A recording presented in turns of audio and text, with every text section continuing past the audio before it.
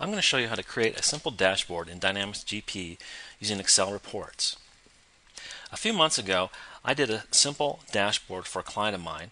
I want to take a look at it right here. Here's the dashboard. This is relatively easy to do. And what I'm going to do in this video is I'm going to show you how to create a dashboard just like this. And we're going to use refreshable Excel reports that come with Dynamics version 10.0. Let's take a look at it. Go over to Dynamics here and I've got my Excel reports in the administrative area under other reports. It's going to bring up the basically 200 standard reports that come with Dynamics GP version 10.0. I'm going to use three of these to create my dashboard. And the first one I'm going to use is going to be customers past due. So let's pull that one up.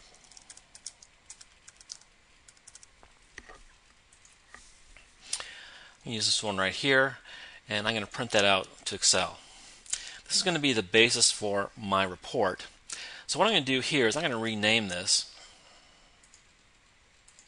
as dashboard so we can refer to it. I'm also going to add a tab for dashboard. Let's do that. Let's rename this one here. Okay. Now let's get busy first thing I'm going to do is I'm going to create a graph based on a pivot table. So I'm going to take this, I'm going to insert a pivot table. That'll create a new sheet, and I'm going to use these aging buckets here. I'm going to pull them down.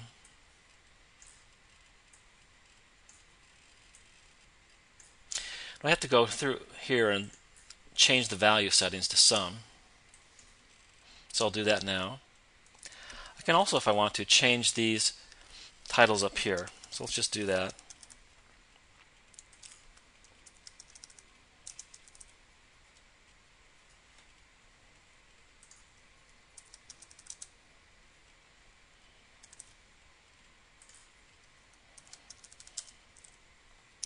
Alright, now to get a new graph, it's easy to do. Insert a column graph here. And let's pull this one here. It's going to create a new graph for me. Here it is.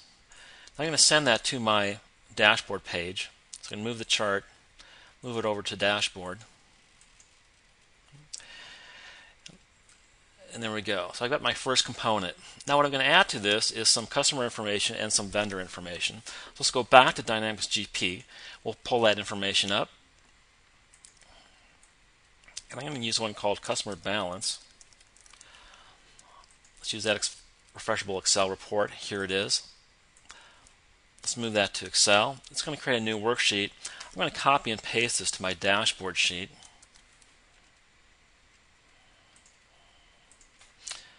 Create a new page here for it. Pull it there. Now what I'm going to do is I want to restrict this to the top 10. I'm going to sort it by the largest to smallest.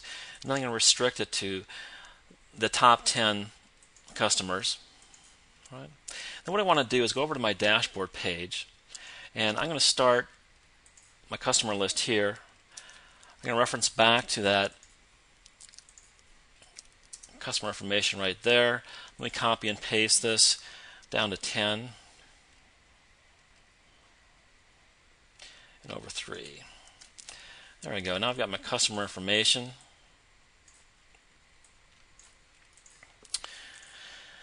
Let's take a look at the vendors now. We're going to add those. Let's go back to Dynamics and add vendor balance. I'm going to select this one here. Basically do the same thing. I'm going to copy and paste that over to my dashboard sheet.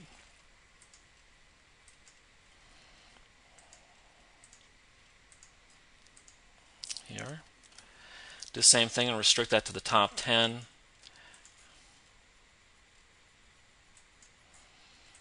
There we go. Go back to my dashboard. I'm going to reference that list.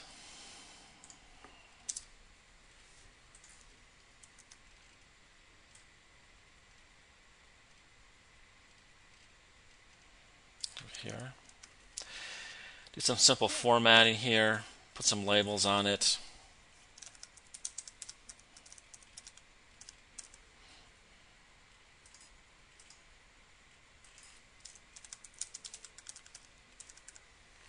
Okay. And I'm going to let you do the rest of the formatting here. It's a quick trick I like.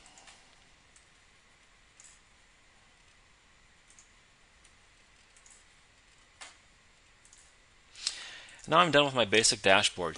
What you can do from this is you can format it any way you want to. You can hide these tabs down here that you don't need. But what I really like about this is that it's going to create the connections to the data. You can see the three pieces of data that I'm pulling from Dynamics GP. At any point in time, I can refresh that data by hitting refresh all. It's going to go out to GP, pulling the new data.